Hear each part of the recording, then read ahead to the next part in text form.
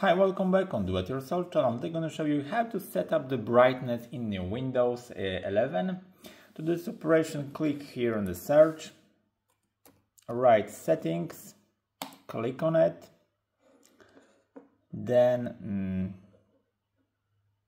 choose the display here and there is a brightness so I use brightness built-in display and as you see we can do the brightness in the low or the max and we have a few options here.